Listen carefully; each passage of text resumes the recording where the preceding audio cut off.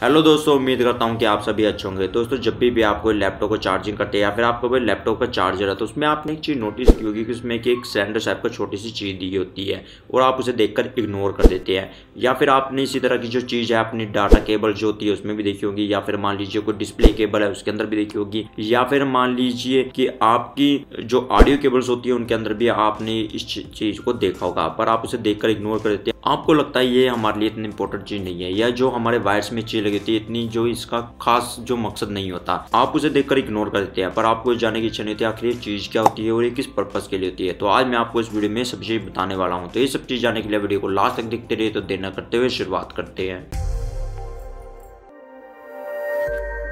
दोस्तों, सबसे पहले हम बात करते हैं जो हमारे वायर्स के अंदर वो सिलेंडर टाइप चीज़ होती है, उसे हम क्या बोलते हैं? उसे हम बोलते हैं फेरेट बिड या हम उसे फेरेट चौक भी बोल देते हैं, या उसे हम फेरेट क्लैम्प भी बोल देते हैं, या हम उसे फेरेट कॉलर भी बोल देते हैं, या उसे हम E M I filter B भी बोल देते हैं, या फिर उसे हम फेरेट रिंग फ़िल्टर भी बोल देते हैं। तो दोस्तों, ये हो गए डिफरेंट डिफरेंट नाम जिन्हें हम इस सिलेंड्रिकल टाइप चीज़ को बोल सकते हैं। दोस्तों उसके बाद हम बात करते हैं आखिर ये जो फेरेट बीड होती है, किस चीज़ की बनी होती है। दोस्तों, आप अगर प्लास्टिक की ये चीज़ होती है, इसे काट कर देखेंगे तो इसके अंदर एक फेरेट मटीरियल निकलता है। उस जो फेरेट मटीरियल होता है, वो बनाता है आयरन ऑक्साइड का, जिसे हम रस्ट बोलते हैं, और वो कुछ अलोए के साथ मिक्सिंग किया होता है, जैसे कि बैरियम या फिर मैग्नीज या फिर निकल या फिर जिंक के साथ वो जो बना होता है। और इसकी एक खास बात होती है कि ये जो फेरेड होता है, ये जो है, होता है नॉन कंडक्टिव होता है। तो दोस्तों, अब ये तो होगी बात की वो किस चीज़ का बना होता है। अब हम बात करते हैं कि ये फेरेड बीड का इस्तेमाल किस लिए किया जाता है। दोस्तों, इसका इस्तेमाल इसलिए किया जाता है ताकि हमारी जो इलेक्ट्रोमैग्नेटिक इंटरफेरेंस होती है या फिर रेडियो फ्रिक्वेंसी जो इंटरफेरेंस होती है, उसको रोकने के लिए फेरेड बीड का इस्तेमाल किया जाता है। तो दोस्तों, अब आपके मन में ख्याल आता होगा कि हमारी वायर्स के अंदर आखिर ऐसा होता क्या है, जिसकी वजह से हमें फेरेड बीड का इस्तेमाल करना पड़ता है। दोस्तों, जितने भी हमारी कंडक्टिव वायर्स होती हैं, वो एक एंटीना की तरह काम करती है। आपको सबसे पहले ये जानना ज़रूरी है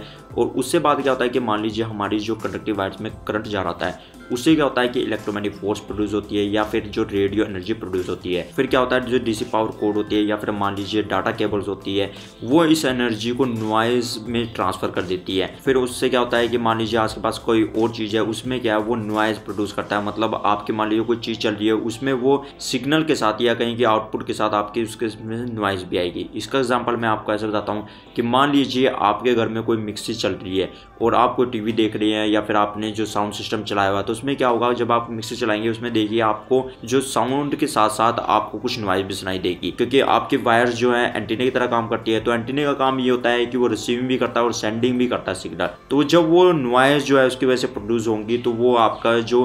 स्पीकर्स की वायर्स होती हैं, वो उसे गेन कर लेगी, जिसकी वजह से आपके आउटपुट के साथ आपको नॉइज़ भी सुनाई देगी। तो ऐसे ही आप दूसरी चीज़ ले सकते हैं, जैसे कि मान लीजिए आपका मोबाइल फ़ोन है, आपके जो टीवी के पास रखा हुआ है कि साउंड सिस्टम के बाहर रखा हुआ तो आपने देखा होगा जब आपको फ़ोन आने वाला था, उससे पहले जो आपके टीवी में कुछ साउंड सुनाई देने लगती है। वो क्या चीज़ होती है कि वो भी इसी तरह काम करती है कि आपकी वायर जो एंटीने की तरह काम कर रही है, और वो उसी सिग्नल को जो कैच करना शुरू करती है, जिससे वजह क्या होता है कि आपके जो सिग्नल आ रहा था, उसके साथ नॉइज़ भी आपके आती है। और आप ऐसे कंप्यूटर वाली चीज़ों में भी ले सकते हैं, क्योंकि कंप्यूटर में क्या होता है ऑक्सीटर लगे होते हैं और वो डिफरेंट डिफरेंट फ्रिक्वेंसी पर काम करते हैं। तो जो फ्रिक्वेंसी प्रोड्यूस करते हैं तो वो क्या करता है कि जो आपके वायर्स होते हैं कंप्यूटर से जा रही होती है तो उसमें क्या होता है अगर मान लीजिए डिस्प्ले पे वायर जा रही है, उसमें अगर मान लीजिए आपके फेरेट बिट नहीं लगा होगा और आपके जो नॉइज़ साथ में जाएगी तो आप आउटपुट के साथ आपको कुछ लाइन सी या कुछ उसमें गड़बड़ी दिखाई देगी। और अगर मान लीजिए इसमें फेरेट बिट लगा होगा तो उसका काम जो होता है वो इलेक्ट्रोमैग्नेटिक फोर्स या कहीं की रेडियो एनर्जी को मतलब ख़त्म करना होता है कि वो ताकि दूसरी वायर्स जो होती हैं साथ में, उनमें वो नॉइज़ ना प्रोड्यूस करे। ऐसे ही मान लीजिए आपके सभी वायर्स में जो आपके फेरेट बेड लगा हुआ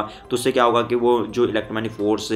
और उसको रेडियो फ्रिक्वेंसी को ख़त्म करेगा, जिसकी वजह से आपके नॉइज़ प्रोड्यूस नहीं होगी और आपके जो आसपास के उपकरण हैं, उनमें आपके जो आउटपुट आएगी, उसके साथ नॉइज़ नहीं आएगी। तो दोस्तों, इसलिए हम फेरेड बीड का जो है वायर्स के अंदर इस्तेमाल करते हैं, ताकि जब हमारी इलेक्ट्रोमैग्नेटिक फोर्स जो प्रोड्यूस हो रही है, या जो रेडियो एनर्जी प्रोड्यूस हो रही है, उसको वो रोक सके, जो हमारे फेरेड बीड होते हैं। तभी आपने देखा होगा कि जितने भी लास्ट कनेक्शन होते हैं या मान लीजिए शुरू में होता है, जहाँ से आपकी पावर केबल की शुरुआत होती है, फिर डाटा ट्रांसफ़र केबल की शुरुआत होती है, दोनों एंड में जो एंड होता है मतलब कनेक्शन के पास वाला, वहाँ पे फेरेट बेड लगाया होता है ताकि जो आपको आउटपुट मिले, वो बिना नॉइस के साथ मिले। तो दोस्तों, इसीलिए हम फेरेट बेड का इस्तेमाल करते हैं, चाहे आपकी ऑडियो केबल होती है ताकि आपको बिना नॉइस के साथ आपको सिग्नल बिल्कुल सही मिले, या फिर मान लीजिए आपकी डिस्प्ले में कंप्यूटर की जो डिस्प्ले होती है, उसमें फेरेट बेड का इस्तेमाल किया जाता है, ताकि आपको उसमें जो आउटपुट मिले, बिना नॉइस के साथ मिले ऐसे ही मान लीजिए जो आपके लैपटॉप के चार्जर होते हैं, उनमें भी जो फेरेट बेड का इस्तेमाल किया था ताकि उसमें जो वो फोर्स जनरेट ना हो इलेक्ट्रोमैग्नेटिक फोर्स और आपकी जो एनर्जी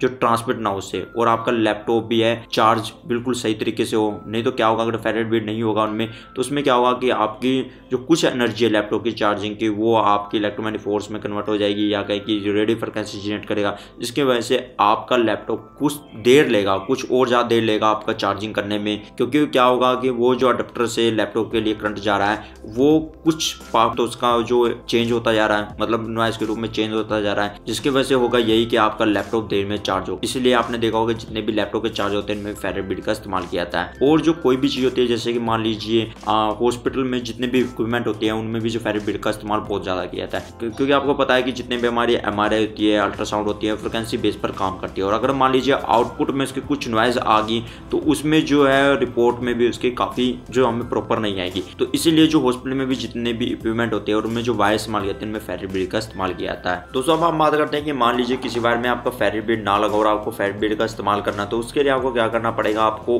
ऑनलाइन काफ़ी तरह के फेरेट बीट मिल जाते हैं। आप शॉप से बाय कर सकते हैं और उसमें आप देखेंगे जो ये डिफरेंट डिफरेंट साइज़ या शेप के हिसाब से आपको मिल जाएँगे। उसमें आप देखेंगे कि उसमें ग्रूव होता है और उसमें आपको वायर रखनी है, जिस पे भी आप फेट बीट का इस्तेमाल करना चाहते हैं। और एक बात का ध्यान रखिए, जिसमें भी आप फेरी बेड का इस्तेमाल करना चाहते हो, उसमें हमेशा आपको जहाँ पे इनपुट देनी होती है, वहाँ पे एंड पॉइंट पे आपको फेरी बेड का इस्तेमाल करना है, या फिर आप जहाँ पे आउटपुट देना चाहते हैं, वहाँ उस पे एंड जो पॉइंट होता है, वहाँ पे फेरी बेड का इस्तेमाल करना है। जैसे कि आप अपने स्क्रीन पर दे सकते हैं, आपको कुछ इस तरीके से इस्तेमाल करना है तो उसमें क्या करना है, आपको वो वायर उस ग्रुप के अंदर रखनी है और उसके जो राउंड एक, दो चक्कर आपको उसमें पैसे दे देने हैं। उसके बाद आपको फेरेट बीट बंद कर देना है। अगर मान लीजिए, अगर आप ज़्यादा आपका फेरेट बीट मान लीजिए उसमें और ज़्यादा वायर लपेट देने के लिए है। मतलब आपके पास उसमें और ज़्यादा जगह है कि ताकि उसमें आप एक दो और चक्कर लगा सकते हैं अपने वायर्स के तो उसमें लगा दीजिए। क्योंकि अगर ज़्यादा इफ़ेक्टिव आपको देखना है तो उसमें कम से कम पाँच छः चक्कर होने ज़रूरी है। नहीं तो अदरवाइज़ एक या दो आप उसमें राउंड में भी चक्कर लगाएँगे उस वायर के तब भी, वो काफ़ी बढ़िया काम करेगा। तो उससे बाद आपको फेरेट बीड बंद कर देना और फिर आप उस फेरेट बीड का अपने वायर में इस्तेमाल कर सकते हैं। तो दोस्तों उम्मीद करता हूँ आपको पता चल चुका होगा जो